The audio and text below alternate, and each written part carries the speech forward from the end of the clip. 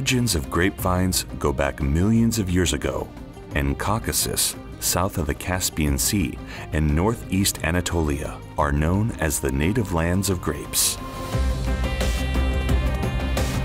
Modern Georgia, Armenia, Azerbaijan, Iran, Anatolia, and parts of Russia are the regions where grapes spread to the world. The availability of many indigenous grape varieties in these regions seems to prove this estimation.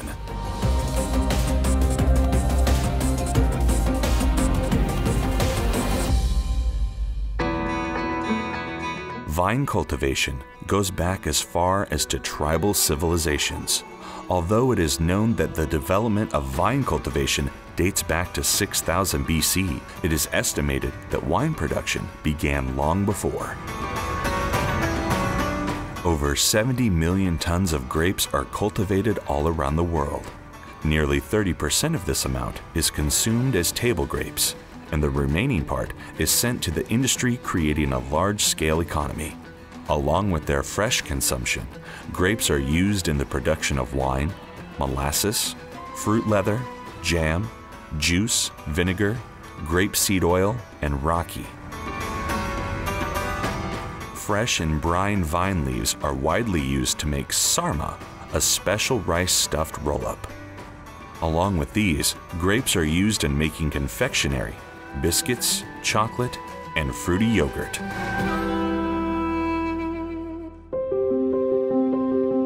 According to the data on the world table grape production, China is the leading country with a production of 9,600,000 tons. China is followed by India with 2,500,000 tons and Turkey with 2 million tons of production. The European Union, Brazil, Chile, the United States, Peru, Ukraine, and South Africa are the other largest grape producers. Being one of the few leading producers in the world, Turkey is also the leader and price setter of the raisin industry. The estimated number of varieties of indigenous grapes in Anatolia is more than 1,200. Packed with plenty of vitamins B, C, and E, grapes are also a rich source of potassium, calcium, sodium, phosphor, iron, magnesium, and sulfur. It is stated that grapes and grape juice reduces the risk of colon cancer by 50%. This healing fruit is a strong blood purifier also, reducing the levels of cholesterol thanks to the inositol contained in it. Today, many grape varieties can be stored in modern storage for longer periods. This characteristics of grapes help them find domestic and foreign markets all around the world, creating a large-scale economy. Succeeding in the storage of grapes depends primarily on their health and quality.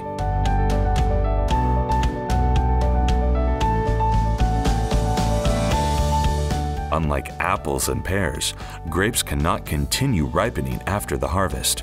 Therefore, they should be harvested when they are ripe and quickly transported to cold storage.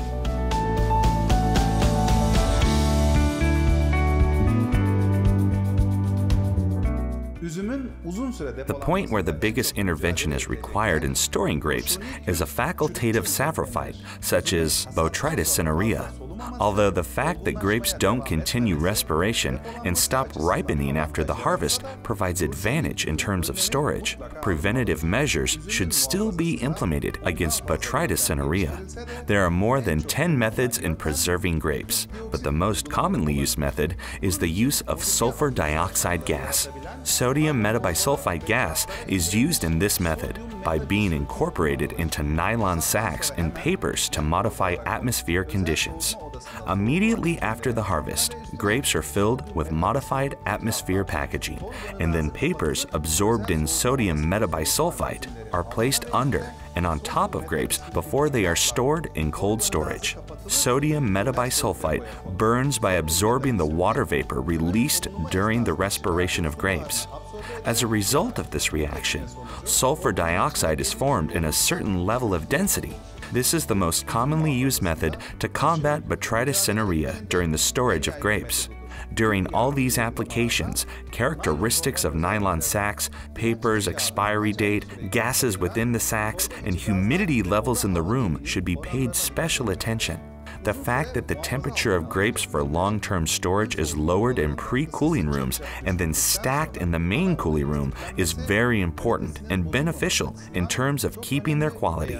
Since the sugar levels of grape varieties differ when they are harvested, their freezing point also varies. Therefore, the temperature should be controlled as the sugar levels increase. Grapes should be kept in polyethylene bags manufactured specifically for grapes at 1 degree Celsius in order to keep the quality of grapes whose temperature is rapidly lowered. After this preparation, grapes can be kept for three months with no spoilage. When these treatments are carried out with care and with the help of the experience gained over time, grapes will be able to be kept for up to five or six months.